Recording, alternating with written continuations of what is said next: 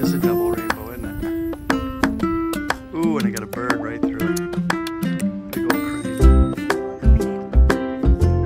It's a full rainbow.